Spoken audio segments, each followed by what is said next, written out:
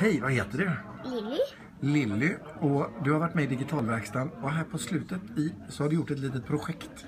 Vad är det för projekt som du har gjort här? Ehm, det, den heter Propellerskorstenen. Propellerskorstenen. Ja. Och vad, vad är den här byggd av, propellerskorstenen? Eh, den är byggd av eh, en propeller och eh, lite sådana här saker. Och vi har i ena änden här, vad är det som är här borta som driver propellern? Ehm, här är ett batteri. Ja, och vart går batteriet till? Det går till en sak. Ja, med en knapp där så man kan starta den va? och stänga av den. Ja. Och sen är det någon ytterligare grej här. Ja. Så man, vad gör man med den då? Man kan stänga av den. Om man drar här. Och sen kan man dra igång den igen. Ja, nu. Men då får man eh, blåsa igång den, var det så va? Ska vi pröva att blåsa där under? Ja, nu gick den igång. Nej! Just det, det var så man gjorde.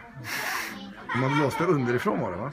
Ja, Om du prövar, pröva att blåsa där under så ser vi om den kommer igång igen. ja nu kommer den. Ja, Jag topp. Kalas, kalas. Och eh, den eh, blåser på de här små plastsakerna Sakerna. som... som är där framme. Ja. Propellerskorsten. Och sen såg jag att du har en annan grej här nere också. Mm. Vad är det för någonting? Det, är min namnskylt. Din namnskylt. Och vem har gjort den då? Eh, Är det ni som har gjort den här i digitalverkstan? Med, ja. med vad då för något? En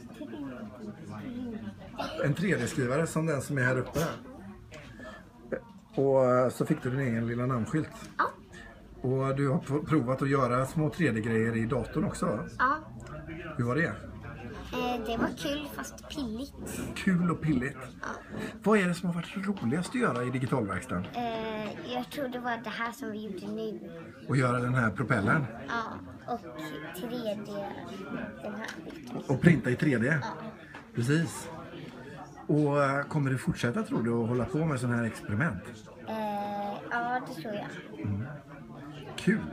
Tack så jättemycket Lilly för att du visade din propeller.